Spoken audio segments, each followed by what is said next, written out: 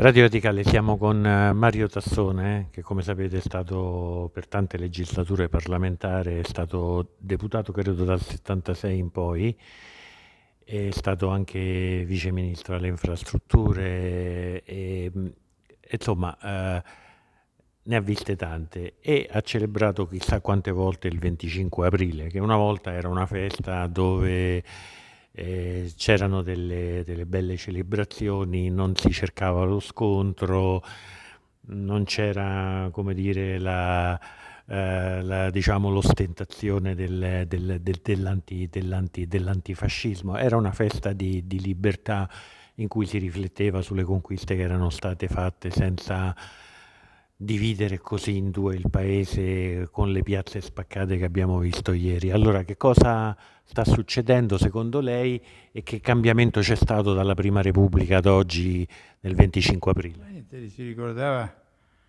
eh, in questo momento eh, eh, un, un, periodo di grande esaltazione, quando si viveva il 25 aprile con grande passione, con grande tensione ideale, un riferimento ai valori, un riferimento alla storia, a quello che era stato il travaglio e la nascita della nostra Repubblica, la conquista degli spazi di democrazia e di libertà dopo vent'anni di dittatura, dopo una guerra distruttiva.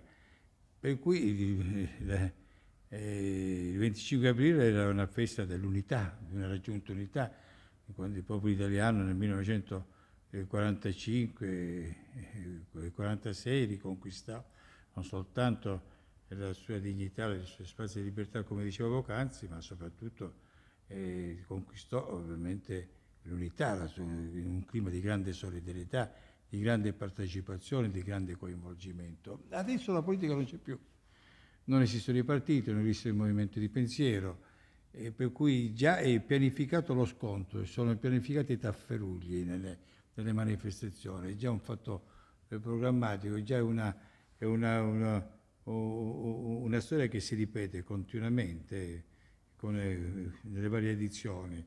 L'aggressione alla, alla brigata ebraica eh, eh, contro gli ebrei eh, e quindi gli scontri che sono ovviamente un ossimolo rispetto a quello che invece era il significato del 25 aprile, che era un fatto di, di, di, di solidarietà. Senta, lei si ricorda fino al 1993, un 25 aprile, dove la gente si, si menava, no, si incontrava no, in piedi? No, no, non lo ricordo, no.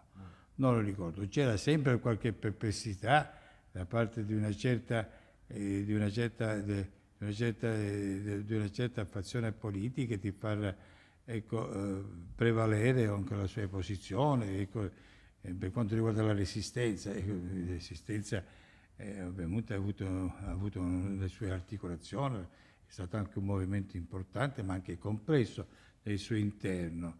E c'erano più che altro delle rivendicazioni di supremazia, ecco, di ruoli, ma che ci fossero pianificati gli scontri, questo qua ecco, non, non lo ricordo. Io ripeto, gli scontri ovviamente si sono andati via via eh, manifestando come fatto fatto di intolleranza e le intolleranze in questo Paese hanno preso il sopravvento sulla politica, sul, sul dialogo e sul confronto. Senta, eh, ha avuto l'impressione che il 25 aprile fosse diciamo, una celebrazione tesa a colpevolizzare chi ci governa oggi?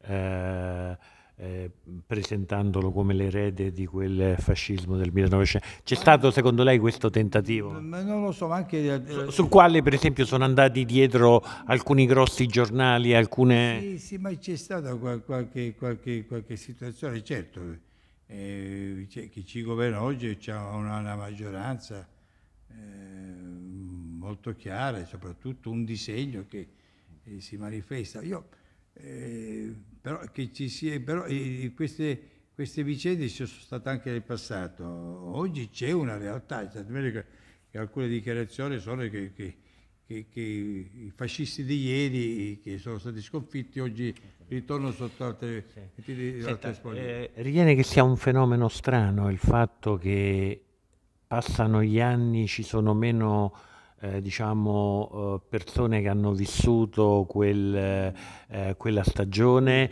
e, e però eh, lo scontro si inasprisce sempre di più. È una cosa che... Boh, non? Quelli che hanno vissuto hanno vissuto i travagli, i drammi, le tragedie. Cioè che paradossalmente quelli che hanno vissuto le tragedie non si scontravano in piazza quando facevano... Quelle persone non ci sono più. Adesso ci sono i commentatori, gli esegeti, gli eredi, ovviamente che, che, vivono anche con elasticità e soprattutto vivono l'attualità con una grande, con una grande larghezza di, di, vedute, tra virgolette, senza un aggancio a quelle che sono le tensioni forti che soltanto chi l'ha vissuto, i drammi, le tragedie, le sofferenze, i martiri che poteva rappresentare in quel momento. Non c'è questa testimonianza di un momento e quindi con l'auspicio e il desiderio di migliorare, ecco, di conquistare eh, eh, sempre le, garanzie di, di, osservanza, di rispetto, di diritti e, e soprattutto delle libertà e dell'indipendenza. E, quello che si faceva nel 25 aprile e si, metteva al confronto che cosa ha significato per il nostro paese aver perso la libertà, aver perso, certo. aver perso la democrazia, eh, eh, non avere più spazi di democrazia e perciò la lotta per riconquistare e rafforzare la democrazia e la libertà. Oggi gli scontri ci portano con un passo indietro e un commento lo devo fare purtroppo in questo particolare momento. È inutile dire questo è fascista, quest'altro è fascista, mi pare che è un fatto ignorante nell'attualità. Il fascismo è una cultura, è stata anche una cultura, un modo di pensare. E certo eh, il disegno sul, io l'ho sempre detto, non ho, non ho ovviamente nessuna remora, il disegno, il disegno, del premierato fatto in quel modo è eversivo. Ecco, tanto per intenderci, allora una preoccupazione, una riflessione, certo. un, una Comunque, riflessione com- bisogna farlo.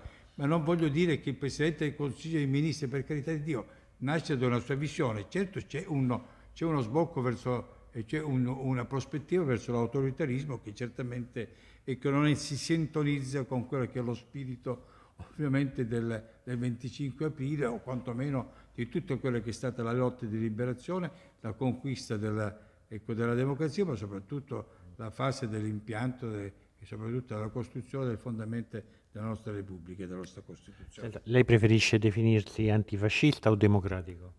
Ma io sono antidemocratico. Sono antidemocratico, no? Io sono, sono democratico, antif- chi è democratico certamente non condivide eh, nell'autoritarismo, nelle dittature e soprattutto una storia, quella storia che è stata nefasta e infausta per il nostro Paese.